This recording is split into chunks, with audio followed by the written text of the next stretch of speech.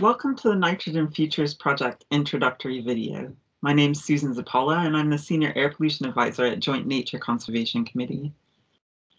This 30-minute video will provide the outcomes of the Nitrogen Futures Project and will tell you a bit about how the project went, what the methods are, and how you might be able to use this evidence in future. This presentation will cover the aims of the project, starting with a quick review of why we're concerned about air pollution and the effects on ecosystems in the UK then I'll talk a bit about the project team and the methods that were involved.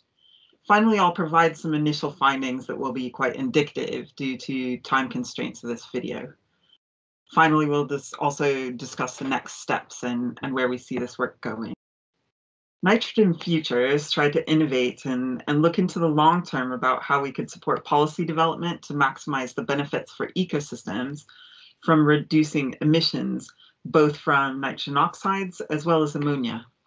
The project helped us to understand the benefit that we get from each of these emission reduction measures and to explore how we can reduce excess nitrogen reaching ecosystems whilst also improving nutrient use efficiency and the cost benefit to those emission reductions.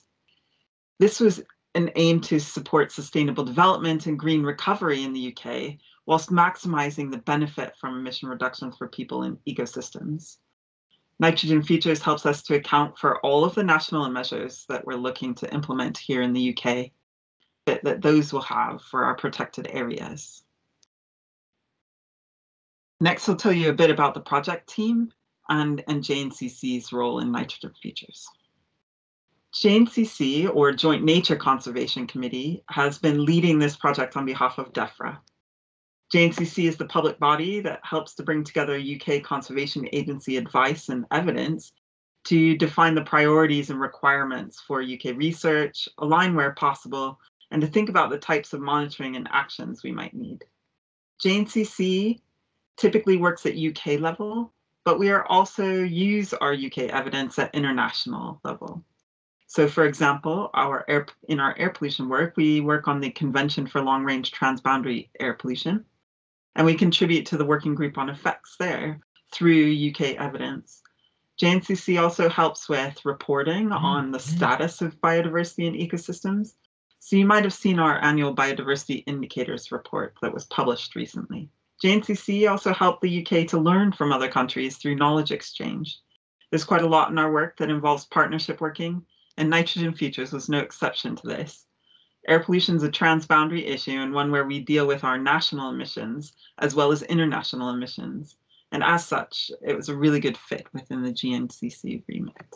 This project involved quite a few different organizations. The project was led by Uli Dragosits from UK Center for Ecology and Hydrology, and she was supported by an extensive project team that included Aether, Rothamsted Research, Air Quality Consultants, Lancaster University's Environment Centre, and Manchester Metropolitan University. There was also considerable involvement from the UK conservation agencies and devolved administration governments. We're thankful for this group effort and what they've done for this project. And we look forward to using this work with everyone in future to make the best use of the significant effort from so many people. It's important to understand the context about why we're doing this work. Uh, so we'll just look a little bit at an overview of the ecosystem effects from nitrogen. Nitrogen is an important nutrient for plant growth and is used in fertilizer to support food production for a growing global population. However, adding too much nitrogen to the environment can cause air and water pollution, affect ecosystems and soil health, as well as contribute to climate change. And the effects of atmospheric nitrogen on ecosystems is something that many people are not aware of because they typically can't see it. In this image, you'll see that emissions are released into the air from several sources, whether that be from ammonia from agriculture, waste processing, or anaerobic digestion, or oxides of nitrogen, which are primarily from combustion processes associated with industry or transport. These react together and form particulate matter and other compounds. And there are two mechanisms that ecosystems are affected by this. One's through the concentration in the air of those pollutants, for example, there will be alkalinity effects from ammonia, and sometimes at high concentrations, ammonia can. The other mechanism is deposition. Wet deposition is where compounds in the air are literally washed out through precipitation, whether that be rain or snow. And there's also dry deposition, which, when the compounds react together in air, are acted upon by gravity and settle onto the ground. These deposited compounds can change the pH of our habitats or increase the amount of nutrients in places that are adapted to low nutrient situations, and that will impact our biodiversity. Nitrogen deposition is a major driver of biodiversity loss in the UK and a widespread issue for our UK habitats. And although significant improvements in air quality have been made over the years, over 50% of our protected area land is threatened by damaging levels of nitrogen deposition. In this image, a relatively healthy sphagnum moss is shown on the left next to ammonia damaged moss that's degrading and burnt. Although the threat's not visible from the air, its effects are very clear in this case. Now that we know the context for the project, we'll tell you a little bit more about details of the project, its methods, and some initial results. Nitrogen Futures was quite innovative in a few different ways. It considered effects of all types of emissions rather than focusing on one sector. The models used in the work have been updated, and the results have 20 times five times higher resolution than we might recognize in national reporting. Another major improvement was to include long-term thinking to 2030 and beyond. This ensures we can account for national clean air strategies and the effect of long-term solutions, such as tree planting or infrastructure investment. Finally, the work provided optimized options for both air quality, concentrations in air, and pressure on ecosystems through nitrogen deposition that provides flexibility for the widest variety of stakeholders who are looking to prove, improve air quality and protect and enhance ecosystems. Now we'll go a bit more detail into the nitrogen futures method. This section provides a quick overview of how the modeling chain builds on itself so that when you're looking at the maps and results, it's easier to understand the changes represented. The project focuses uh, we are looking to do supplement what's being done right now. So this includes the Clean Air Strategy 2019, the Clean Air Plan for Wales that's just been recently published, and the second review of Cleaner Air for Scotland, as well as the ammonia strategy in Northern Ireland.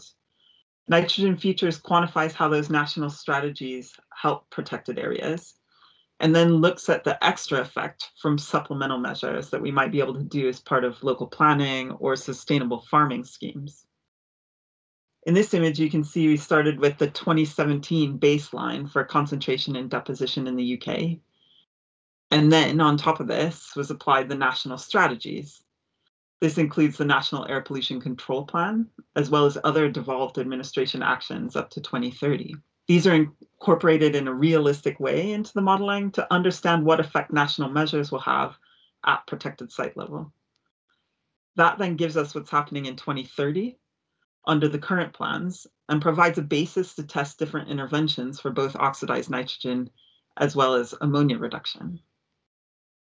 I'll talk a little bit more about examples of interventions later on in the presentation.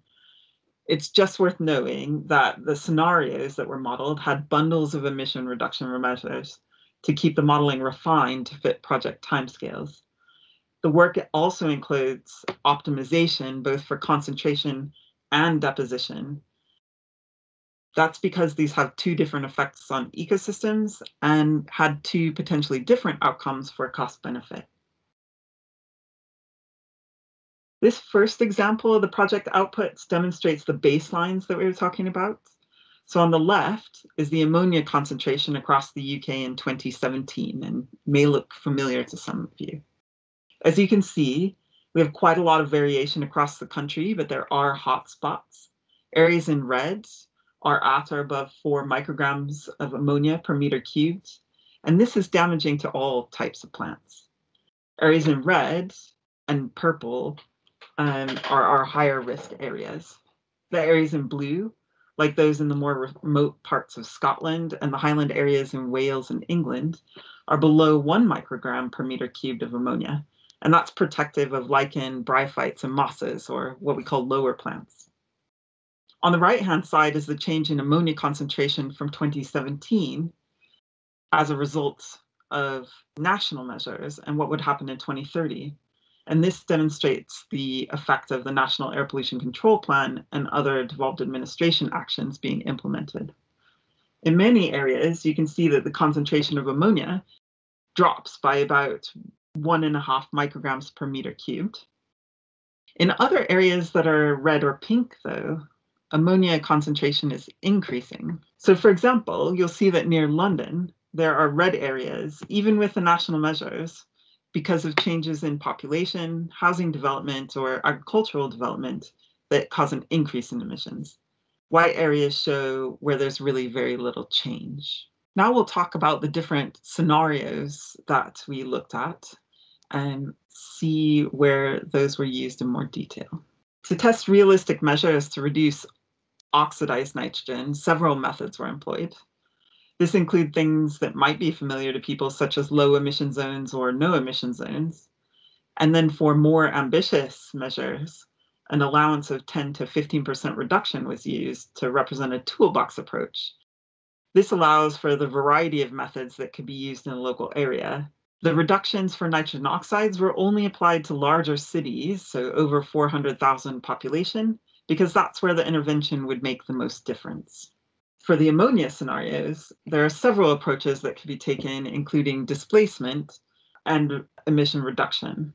Displacement is applied to an existing emission source around a protected area. They're moved away from the protected area by a defined distance, or certain activities might not be allowed around that protected area. Whereas reduction measures reduce the magnitude of the existing emission. Examples of that include low emission spreading, changes to protein levels in animal diets, control of animal housing emissions, changes to fertilizer regimes, which would mean they move away from urea based fertilizers, and that sort of reducing activity. Dairy and cattle measures were modeled separately because the UK actively regulates pig and poultry, but cattle and dairy are still under consideration.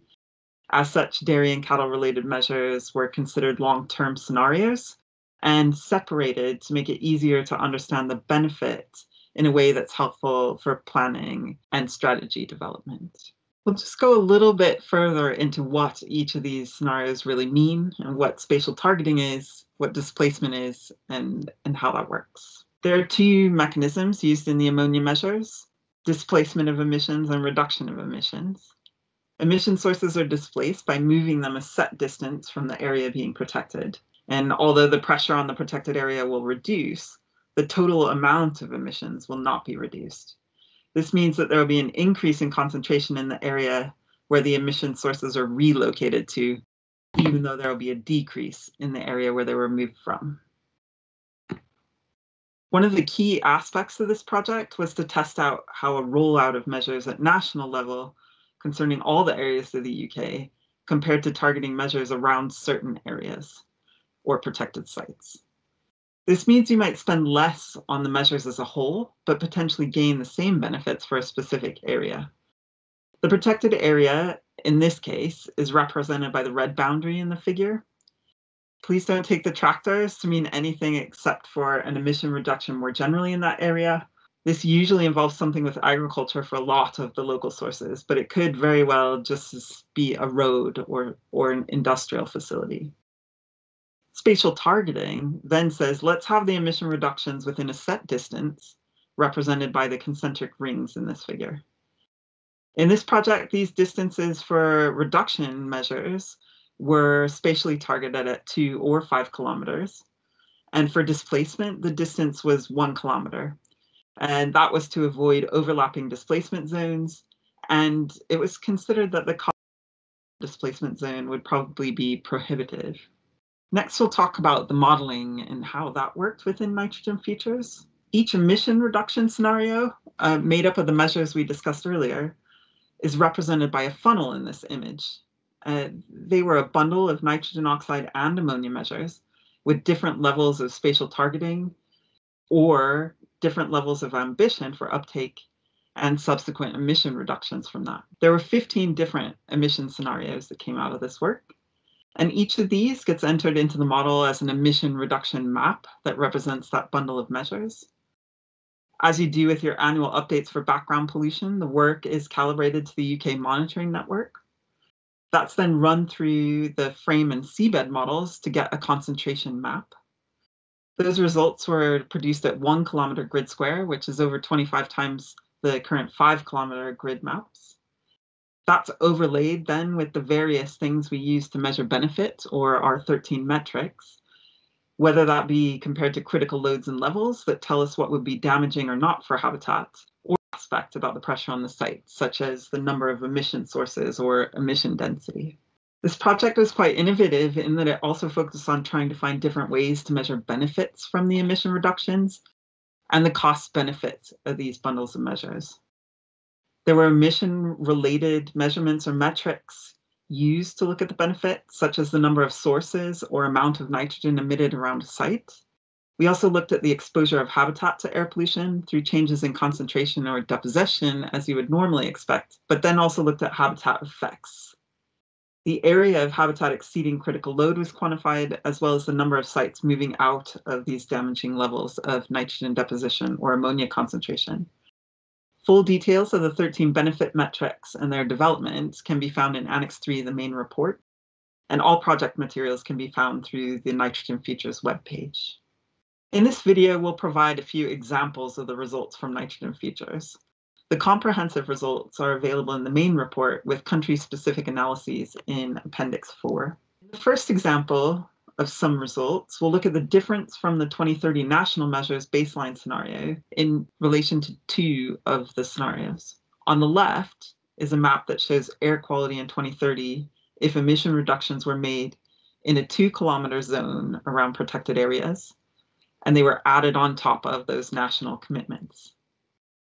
You can see a broad scale reduction represented by blue colors, sometimes up to five kilograms of nitrogen per hectare per year, with no red dots in there incre- indicating increases. On the right is a map showing what happens with the one kilometer displacement zone if we displace those emission sources within one kilometer around the protected area. This has a much more interesting picture with a lot more red to indicate increases outside of the displacement zones. That's important to keep in mind when you're looking at the cost benefit, as there are consequences of moving sources away from certain areas without also reducing those emissions overall. If you look a little bit closer at Wales, for example, you'll see bright red areas where nitrogen deposition increases. In this example, there seems to be more protection for protected sites, but quite widespread effects and potentially undesirable change in air quality for people and ecosystems outside of those areas. The other aspect we looked at is the direct effect on habitat through concentrations in air and highlighting where areas are coming in and out of these damaging levels. Again, there are two scenarios explored that represent emission reductions within two kilometers of the protected area and a one kilometer displacement zone on top of the national measures. These again have results for 2030. The circles show the extra number of sites that would come out of exceedance of their critical levels for ammonia, and they get larger with the number of sites in each category. These areas would no longer have levels of ammonia that are damaging to lichen and mosses. The results vary across the country, and with the displacement zone, quite a few more sites come out of exceedance. But we'll need to remember that this also means that a lot of other areas of wider habitat outside of the protected areas might have been put at risk because the emissions increase in those areas. Please remember these are only two results out of the 15 scenarios and 13 metrics, just to give a flavor of the presentation and output from the nitrogen futures work. The full results are available in the main report, accessible through the Nitrogen Futures webpage. The project also undertook a cost benefit analysis, and the exact calculations will vary depending on the benefit that's being looked at. The general approach takes the amount of benefit, whether that be through reduction of emissions, or the amount of exceedance. It compares this to the cost of interventions in the package of mitigation. Again, here we're looking at the same scenarios, two kilometer emission reduction and one kilometer displacement scenario. But in this case, we're also looking at the scenario optimized for concentrations of ammonia in air, which would make more areas protected for lichen and moss. In the two kilometer buffer zone, almost 13,000 extra hectares are protected on top of the national measures. With a cost effectiveness ratio of 0.6, when looking at the amount of extra hectares protected per 5 million pounds. In comparison, displacement shows quite high cost effectiveness, but we're not able to account for the damage costs from displacement to other areas in this analysis. That's something to be very careful of when you're interpreting the results.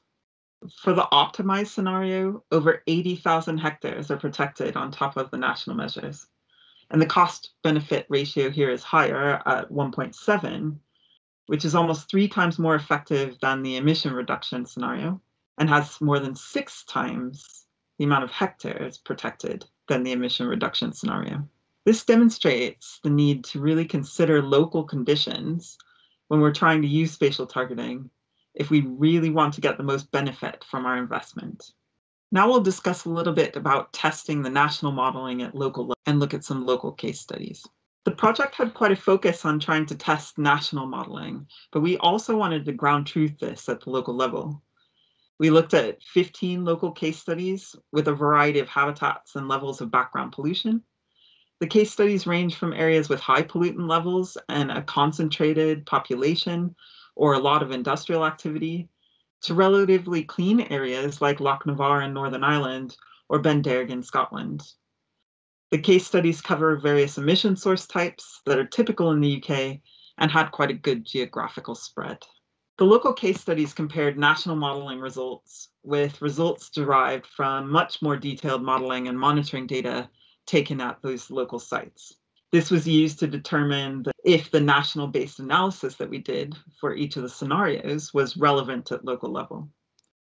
In many cases, pretty much without exception, the national modeling was very useful for identifying areas at risk and for helping to prioritize the types of activity and where you might want to intervene. However, it did not cover all local needs. For example, if a road's going straight through a designated site, the one kilometer grid square helps you to prioritize your activity at national level, but then you really need to do more investigation to reflect change that could be contributed to that road scheme itself. That's because the road will have an influence that's much less than one kilometer wide typically. Geography and site situation were also found to be important at local level. Applicability of certain measures could be influenced by whether the site was primarily affected by transboundary pollution or if the pressure was from local sources. And the types of emissions and controls available also influence which approach is most appropriate. Nitrogen futures helps to provide some quantification to supplement what we know about this at a qualitative level. Now we'll just cover a few general conclusions from the Nitrogen Futures project. Nitrogen Futures concluded that in order to reduce the amount of nitrogen reaching protected areas to levels that we expect not to be damaging, we'll need more than just national measures. On a positive note, many of the national targets are likely to be met by these extra measures that we're taking. This includes the National Emission Ceilings Directive commitment actions and the Clean Air Strategy 17% reduction of damaging deposition. Further work, however, is required if we want to meet biodiversity targets in the round. Spatial targeting proved to be the most cost beneficial for protected areas, whilst helping to meet those national targets. The optimized scenarios show that trying to look at your local circumstances and tailor the measures to each area has the greatest cost benefit. There was also quite a lot of variation amongst UK countries observed in the results. We found that quite interesting. It does really reinforce that there's no one size fits all solution for the UK. Key factors affecting country specific results were how many emission sources were around protected areas, also known as emission density, also the sources of those emissions and whether they were far away from or close to sensitive habitats, and how high the existing background pollution was played a significant part in these results. For areas that have a lot more pressure from air pollution was much greater because you could reduce existing emissions by more. This slide also shows a graph on the right-hand side that provides an example of part of the reason that the country-specific variation exists. Uh, and this is through breakdown of the pollutant types we looked at. The red and pink areas are for reduced nitrogen or ammonia, and the green areas are for oxidized nitrogen. And you can see some interesting trends. I mean, oxidized nitrogen is the highest contributor in Scotland to nitrogen deposition, but in Northern Ireland is relatively low.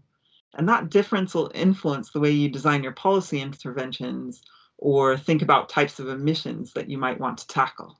Now we'll discuss the next steps for nitrogen futures because the evidence production is one thing, but now we want to use that evidence. We're really excited about this project because it's been groundbreaking for us and involved a lot of people to make the work useful for UK countries. And we're now looking to think about how we can use the evidence and data in future. The intention is to use nitrogen futures data for strategic planning, site restoration support, fulfilling biodiversity duties or other ambitions. Nitrogen futures can help with prioritizing areas where organizations may want to provide advice or incentives, such as in sustainable farming schemes. And the quantification in nitrogen futures helps identify what level of ambition is required to meet a specific target. And it also ensures targets are realistic. Nitrogen futures helps understand what contributions are from each UK country at each protected area and the local benefit of UK country clean air strategies. Baselines consider other country commitments as well, like Republic of Ireland and Netherlands, that are signed up to the National Emission Ceilings Directive and to account for those international effects. Nitrogen Futures Report has now been published, and we'll be holding several workshops to explore with stakeholders how the work can be used. A non-technical report is being produced to assist with discussions that you might want to have with colleagues and stakeholders over 500 potential data sets to be published, and we're prioritizing release of the data sets to ensure these are easy to use as well. Several workshops are planned to help explore how nitrogen futures can be used or adapted. There are country-specific workshops for the UK, but also themed workshops for subjects such as farming, as well as discussion of new benefit metrics or analyses and the applicability of the work to risk assessment. Future work will include quantifying benefit for wider ecosystems outside of protected areas. And please do join the stakeholder list if you want to be updated on progress.